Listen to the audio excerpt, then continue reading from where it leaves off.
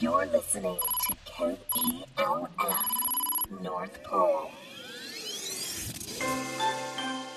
Welcome, everyone, to Millennial Santa. We are broadcasting from KELF, the North Pole's radio station.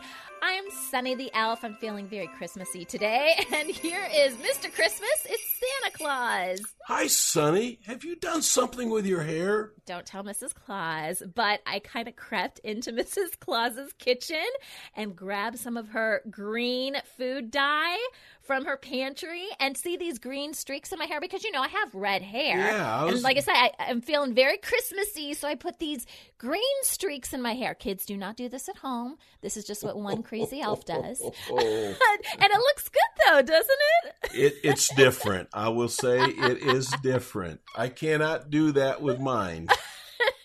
Well, you know what, Santa? Lucas sent us a text message, and this is kind of a sensitive topic. Lucas asks Santa, whenever I see pictures of you, you're always wearing your hat.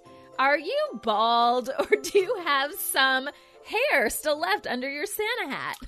Now, Lucas, that's a very personal question, but yes, there is hair under this hat. You may be wondering why you always see pictures of me with this hat on. The history of this hat goes back all the way to St. Nicholas.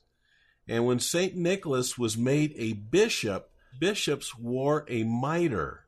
And this hat symbolizes a mitre, the way it goes all the way up. Now, Mrs. Claus thought the nice little white ball at the end would look cute, so I've been wearing that because I don't want to hurt Mrs. Claus's feelings.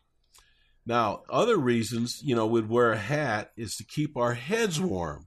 If I'm traveling in other areas, I will wear different types of hats, especially if I'm down in Australia.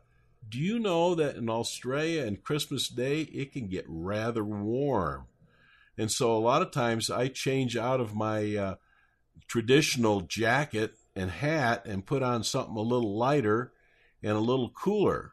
But I still wear something on my head because I don't want the sun's rays to to bake my poor brain. And going back years and years ago, I mentioned Mrs. Claus designs my hats and, and makes them for me. When I started out long, long time ago, I used to wear holly leaves around my head, especially in the warmer weather areas. That looked rather nice too. Lucas, you may come across many of my helpers. All of them you'll see wear hats. Some of them may not have hair, but the one thing we have in common, we'll always wear the Santa hat as a tribute to St. Nicholas, to honor St. Nicholas, and also not to confuse the children. You know, you don't want children to Santa. How come you're wearing a cowboy hat? You know, you're different from the other Santa over there wearing a bandana. And you'll see the traditional Santa hat that kind of comes up to a point and usually has a fur ball on the top. And that has become a traditional symbol of Santa. So, Lucas, grab yourself a Santa hat and you can practice being Santa. Ho, ho, ho. All right. Thank you, Lucas. It was great to hear from you. And hopefully, you do get that Santa hat. You should send us a picture. We'd love to see it. If you guys want to say hi to Santa or if you have a question, you can call or text us here at the radio station and we'll try to use your comments on our show. The number is 856 99 Santa. That's 856 997 2682. Kids, be sure to get your parents' permission first. Bye, guys. Bye, Santa.